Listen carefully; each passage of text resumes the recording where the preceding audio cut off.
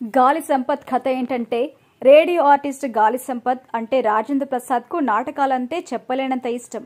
ఓ యాక్సిడెంట్లో తనకు తన జీవితానికి బలంగా మారిన గొంతును కోల్పోయి మూగవాడిగా గాలి సంపత్ మారిపోతారు. భార్య అకాల మరణం చెందడంతో కొడుకు సూరి అంటే శ్రీవిష్ణు కోసం జీవిస్తుంటాడు. అరకులో ఓ ట్రక్ కొనుక్కుని జీవితం గడిపేయాలనే ఆలోచనతో సూరి ఉంటాడు. ఇక ఇదే క్రమంలో అదే ఊరిలోని సర్పంచ్ కూతురు పాప అంటే లవ్లీ సింగ్తో ప్రేమలో పడతాడు. అయితే తండ్రి కారణంగా తన పెళ్ళికి అడ్డంకులు ఏర్పడడంతో సూరి మనస్తాపానికి గురవుతాడు. తండ్రిపై ఆగ్రహం చెంది ఇంటి నుంచి వెళ్ళిపోమ్మని అరిచేస్తాడు. కొడుకు తీరుతో మనోవేదనకు గురైన గాలి సంపత్ ప్రమాదవశాత్తు ఇంటి ముందు ఉన్న ఖాళీ బావిలో పడతాడు. ఇక రేడియో మావయ్య పేరు సంపాదించుకున్న గాలి సంపత్ ఎలా మూగవాడిగా మారిపోయారు? తన కుమారుడు సూరిని ఎందుకు ప్రాణంగా చూసుకుంటాడు? గాలి సంపత్ కారణంగా సూరి ప్రేమ పెళ్ళికి ఎలాంటి అడ్డంకులు ఏర్పడతాయి? బావిలో పడిన గాలి సంపత్ పరిస్థితి ఏంటి? తండ్రిపై సూరికి ఏర్పడిన అపోహ ఎలా తొలగిపోయింది? బావిలో పడిన గాలి సంపత్ పరిస్థితి ఏమైంది? పాపతో ప్రేమను సూరి గెలుచుకున్నాడా అనే ప్రశ్నలకు సమాధానమే గాలి సంపత్ సినిమా. ఇక ఫస్ట్ హాఫ్ విషయానికి వస్తే తండ్రి కొడుకుల మధ్య అనురాగం ప్రేమ యాంగిల్లో కథ మొదలవుతుంది.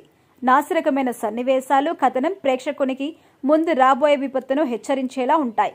కథలోకి వెళ్ళిన కొద్ది సినిమా మరింత పేలవంగా కనిపిస్తుంది. ఓ చిన్న ట్విస్ట్తో ప్రథమార్థం ముగించడంతో ప్రేక్షకుడికి ఊపిరి పీల్చుకున్నంత పనవుతుంది. తొలి భాగంలో తండ్రి కొడుకుల మధ్య సన్నివేశాలు భావోద్వేగంగా మలుచుంటే తప్పకుండా ఈ సినిమా హార్ట్ టచింగ్గా మారడానికి స్కోప్ ఉండేది. అలాగే రొటీన్ ఎలాంటి కొత్తదనం లేని లవ్ ట్రాక్ ఫస్ట్ హాఫ్ను మైనస్గా మార్చింది.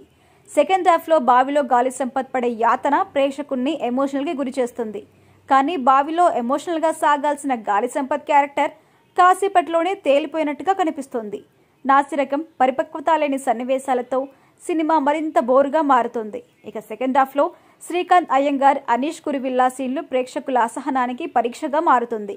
ఇక క్లైమాక్స్ మరీ సాధారణంగా పరమ రొటీన్గా ఎనభైవ దశకంలోని స్క్రీన్ ప్లేను మురిపించే విధంగా ఉంటుంది.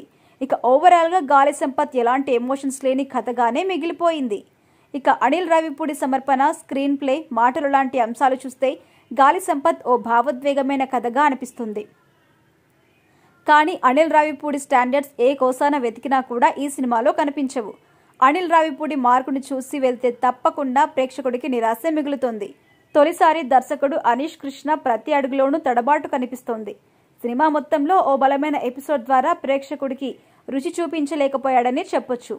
ఇక గాలి సంపత్గా టైటిల్ రోల్ పోషించిన రాజేంద్ర ప్రసాద్ తన పాత్రను మరో రేంజ్కు తీసుకెళ్ళేందుకు చాలా ప్రయత్నించాడు. కానీ కథాకథనాలో ఏమాత్రం సరుకు లేకపోవడంతో నట కిరీటి ఏమీ చేయలేకపోయాడనే ఫీలింగ్ కలుగుతోంది. సెకండ్ హాఫ్లో కొద్ది నిమిషాల ముందు తన నటన ప్రతిభను మరోసారి రుచి చూపించడం కాస్త ఊరటగా అనిపించింది.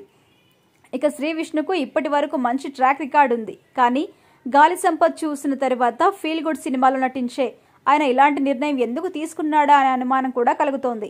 సాధారణంగా శ్రీ విష్ణు సినిమాలో ఇతర అంశాలు ఎలా ఉన్నప్పటికీ హీరో క్యారెక్టరైజేషన్ ఇంపాక్ట్గా ఉంటుంది. కానీ ఈ సినిమాలో అలాంటిదేమీ కనిపించదు. శ్రీ విష్ణు అభిమానులకు భారీ నిరాశ ఎదురుతుందని చెప్పొచ్చు. లవ్లీ సింగ్తో లవ్ ట్రాక్ కూడా పండించలేకపోయాడనే విషయం స్పష్టంగా తెలుస్తోంది. ఇక సాంకేతిక విభాగాల విషయానికి వస్తే సాయి శ్రీరామ్ తన సినిమాటోగ్రఫీతో ఆకట్టుకున్నాడు. అరకు అందాలను తన కెమెరాతో అద్భుతంగా పట్టుకున్నాడు. అచ్చు రాజమణి సంగీతం విషయానికి వస్తే రీ రికార్డింగ్ బాగుంది.